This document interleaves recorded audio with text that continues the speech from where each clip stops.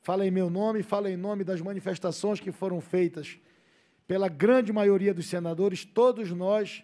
ficamos muito entusiasmados positivamente com a apresentação de Vossa Excelência, com o conhecimento que Vossa Excelência tem, que todos nós é, acompanhamos, a capacidade de articulação e a liderança de Vossa Excelência. Então, eu agradeço ao vice-presidente Hamilton Mourão, general Mourão, que vem ao Senado Federal fazer essa sessão solene de debate,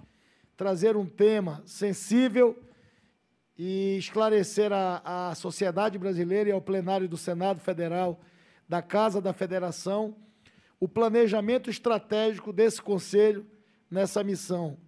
de presidir esse conselho, de agregar inúmeros ministérios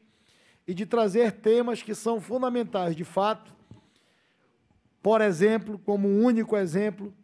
se nós não priorizarmos a regularização fundiária da Amazônia, nós concretamente ficaremos mais por duas ou três ou quatro ou cinco décadas levantando essas angústias desses milhões de brasileiros que subexistem da sua produção, pequena produção, do produtor da agricultura familiar, do assentado da reforma agrária, que muitas das vezes é confundido como criminoso, e não é.